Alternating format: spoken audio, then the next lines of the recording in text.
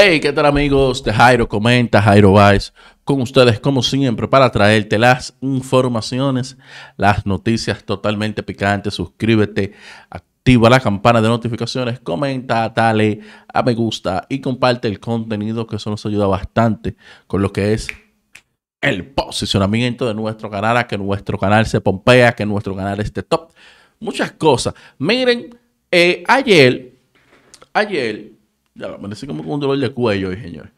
Ayer, o antes de ayer, creo que fue, se hizo como alusión al regreso de eh, Mamá Granje, digo, de Amelia Alcántara, a nada más y nada menos que a los foques, de que ella regresaría, que esto y que lo otro. Y de hecho, lo que se hizo fue como una sátira, una sátira de con Rafa Boba, con Rafa Boba, de que, que, que, era Amelia y por ahí María se va. El hecho es, el hecho es que no es la primera vez que se argumenta sobre el posible regreso, eh, sobre el posible regreso de, de, ella allá, allá. ¿Mm? Sobre el posible regreso de ella allá. No, sí, vamos para allá, vámonos aquí, pa, pa, pa, a lo que es el edificio rojo. Ella ha dicho en innumerables ocasiones de que ella no regresaría al edificio rojo, de que ella no va a regresar por más que lo pinten, por más que lo quiera, ella no va para allá. Pero Robert Sánchez, Robert Sánchez, en un en vivo que él hizo, en un en vivo que él realizó, básicamente, él, él revela de que sí, de que Amelia regresaría al edificio rojo. Pero otra cosa, Amelia también le respondió. Vamos primero a ver lo que dice Robert. Para su casa. Vuelve para su casa. Que será para sin filtro, que será para otra propuesta, que será para... Eso no, eso yo no lo sé. No, no, no sé. En el momento menos esperado. Yo, eh, en algún momento que quizá ella estaba muy vulnerable en temas emocionales y laborales, yo le decía a ella, organízate mentalmente, tranquilízate, no te desesperes en volver, cálmate. Ya Amelia, tú ves a Amelia con mayor control emocional. Ya tú ves a Amelia una persona con mayor madurez hasta para responder. Si tú ves cómo Amelia ahora plantea un tema, oigan lo que, lo que hace la técnica de hacer, de hacer comunicación día tras día. Si tú buscas a Amelia hace seis, seis años, te hablaba para salir de eso. Ahora Amelia se toma con calma, respira inflexiona, utiliza las herramientas y responde. Ya tú sabes. Eh, ya, pasó el capítulo de Amelia. Vamos a hablar de Sin Filtro. Señores, yo estoy orgulloso de mis baturras. Estoy orgulloso de esas cinco mujeres, que en realidad son seis. Porque la sexta es invisible y es Chari. La sexta es invisible, es Chari. Eh, la llegada de Chari a Sin Filtro, eh, de verdad que le dio un refresh. Yo cinco años produciendo ese programa, originando contenido y eso, coño, pues más que tú quieras, tú te agotas. Pero aparte de producirlo, dirigirlo y conducirlo el programa, y picharla y batearla, tema que y entonces estas mujeres que llegaron ahí, Sandra es una locura. Lo de Sandra Berrocal, eso es una locura. Porque esa tipa, primero, disciplinada. Está puesta para, el trabajo y para su número. Comenzando por ahí, con Sandra. Disciplina y número. Vamos a trabajar. La gente hablando mierda. No tiene dignidad. Sandra no tiene vergüenza. Tú el, que, tú el que habla mierda, debería revisarse primero, a ver cómo es su vida, cómo es la vida suya en lo personal. Vamos a ver quién, quiénes son de los que critican que tienen la vida perfecta. Vamos, comenzamos por ahí. Ya, son mudos ahora. Sandra, poeta para su nombre. La gente hablando mierda y Sandra poeta. Y facturando más que el coño. Y yéndole más bien que el coño. Y más marca que el coño. Y hasta dos y tres hosts en la noche y facturando. Y la gente hablando mierda. Y Sandra ahí. Ok. Vámonos ahora con Candy Flow. Millonaria. Lo primero que Candy es millonaria. Ella. Eh, comenzando por ahí. Candy no llegó ahí que porque necesito ganarme un par de pesos. Ni necesito que me conozcan. Primero, llegó eh, que se hizo figura primero que todo el mundo. Cuando, cuando no había redes, ya, ya Candy era figura en redes. Económicamente sólida. Llegó ahí, coño, así un show y Candy está que no le coge esa a nadie. Haciendo un show. Se ha ausentado del programa porque tiene un compromiso familiar en los Estados Unidos. Ella, que bueno, yo no, yo creo no sé si ella lo publicó, ella nos envió la foto. Pero es algo en torno a su hija, una graduación. Yo no debo estar revelando por aquí porque no sé si ella lo ha manejado a mucha discreción eso. Que uno, yo que tengo tres hijos, es uno de los, de los, mayores logros. Bueno, seguimos con las mujeres. Caro Brito, la villana. Esa tipa dijo, ok, yo soy la más villana, yo soy la más odiada, yo soy la más que sí, ok, ok, yo voy a capitalizar eso. Y Caro ha decidido capitalizar el odio.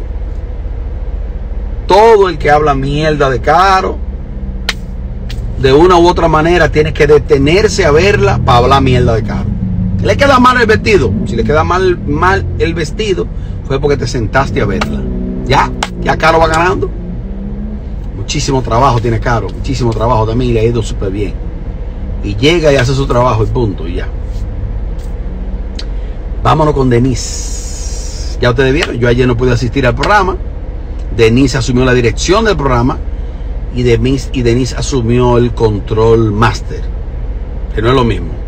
Tú puedes dirigir un show, ser el Hochi Santos, no hace consola.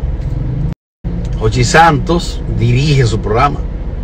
Ahora, tú hacer el control master, dirigir eh, eh, eh, técnicamente y dirigir un programa, cuidado. Denise tuvo las dos funciones a raíz de mi ausencia ayer. Y entren y, ve, y vean el contenido, vean para que ustedes vean. Metió mano. Ahí no hay fallo. Ahora le toca a Yulai. Tengo que, tengo que ponerme para Yulai para que me domine la consola también. Vámonos con Yulai ahora. ¿Qué decir de esa, de esa loca? Esa tipa. Yo, yo comparo Yulai como con un robot. en el aspecto laboral, porque en el aspecto humano, en el aspecto humano, sensible, solidaria, buena tipa, buena amiga, eh, no sé, Yulai es un amor, como persona, Yulai señores es un amor, sin pose, esa Yulai que ustedes ven así, así es Yulai. Yo estoy hablando del lado humano. Vámonos al lado. ¿Y cuál de esas mujeres estará aquí en el live? Sabrá Dios. Vámonos al lado. Si yo estuviera acabando estas mujeres, este live lo estuviera grabando todo el mundo si se hiciera viral. Vámonos ahora al lado profesional de Yulai. Yulai es un robot. Yulai está ready para batear. Ese bate de Yulai está. Juan Soto. Eso está que tú no me tienes que.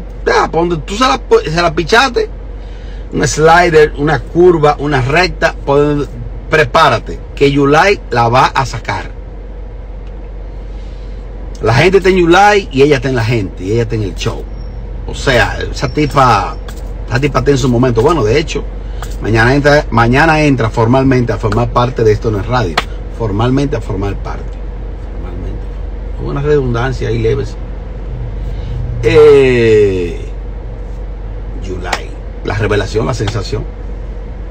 Entonces, sin filtro está en una etapa que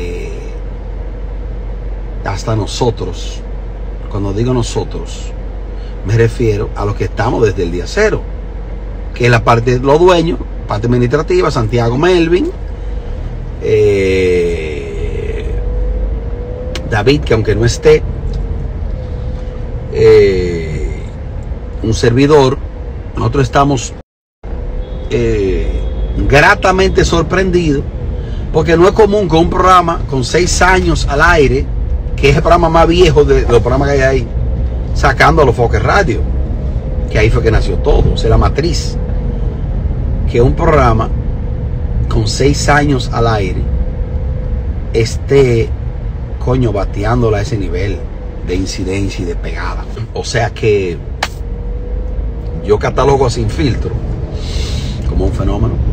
Ustedes dirán, coño, tú dices la da. No, yo se la voy a dar al mañanero. Se la voy a dar a, a, ¿Cuáles son los que están en la radio? A Brea, que es mi hermano. Intocable para mí. Brea es de los intocables para mí. Yo podría hablar de Brea algo, si hay algo de contenido, pero en lo personal, Francis Brea, ese tipo y yo tenemos una amistad que es inquebrantable. De esos tipos que tú conoces en el medio, que no hay forma de que alguien te haga enemigo de él. Esa, es la relación mía de Brea. Es una vaina de amanecer hablando de Brea y yo. mi amigo, Brea y mi amigo. Eh, pero el mejor programa que tiene las tardes de la radio dominicana es Sin Filtro. Y eso es gracias a ustedes. Gracias a ustedes. Robert, te faltó Chari. No, pero será que entonces ustedes entraron tarde. Eh, a la persona que me escribió aquí que me faltó hablar de Chari, para yo no quedarme ronco, escriban ahí que yo dije de Chari. Yo no puedo volver para atrás.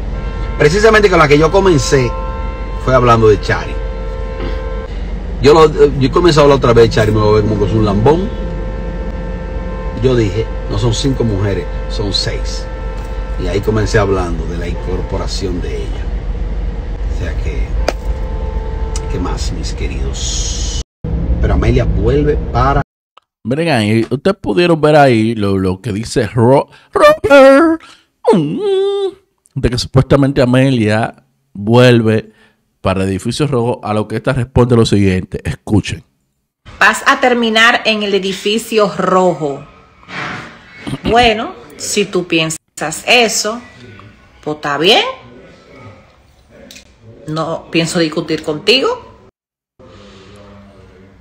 No sabía que tú estabas dentro de mí. ¡Wow! Reina es reina. Así es, señores. Yo soy la reina de mi castillo. Yo. O sea, soy yo. Yo. Yo. Yo. La de los numeritos.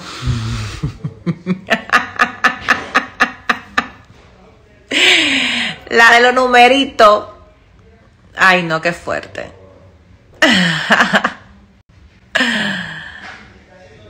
Ay, ay, ay. La de los numeritos, ya me están diciendo que deje de hacer el live porque quieren chismear, mi amor. Porque estas mujeres, mi amor, chismean frente a cámara y tras, de, y tras de cámara. Yo no. Yo solo chismeo frente a cámara, señores. Vas a terminar. Ahí vieron. Básicamente ella dice, va a terminar el edificio rojo y eso.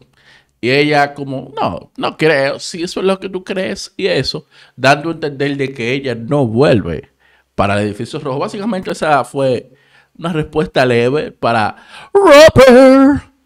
Oh. Eh, ¿Qué usted opina? Yo no predigo nada. Yo siempre yo dejo que todo fluya, porque al final tú dices, no, ella no va a volver para allá, ella tiene dignidad, que sí o qué. Y ahorita la vemos ahí en el edificio rojo. Que eso no es nada, esa es su casa, el edificio el, Red Building es su casa. Ella puede volver cuando quiera. Al final. Nada, señores, mucho contenido. Bye, bye.